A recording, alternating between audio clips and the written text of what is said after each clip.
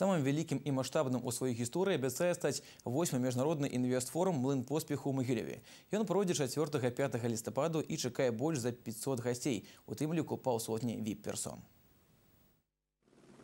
Свой удел захадзя пацвердзілі два расійскіх губернатара, прадстаўнічыя дэлегацыі Тулы, Калугі, Ленінградскай вобласці, Гагаузіі, Куява-Паморскае воеводства Польшы, Грузіі, Таджикістана, Германіі і Китая, а таксама прадстаўнікі шматлікіх пасольстваў. Расійскія ўдзельнікі форума абяцаюць прыехаць вялікай калонай аўтобусаў на тры дні, каб не толькі правесці перамовы, але і на ўласныя вочы пазнаёміцца з эканамічным і турыстычным патэнцыялам Магілёўскай вобласці.